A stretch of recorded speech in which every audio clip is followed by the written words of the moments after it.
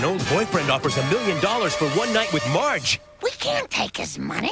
I can't take his money. I can't print my own money. Why don't I just lie down and die? The Simpsons, all new, next on Fox.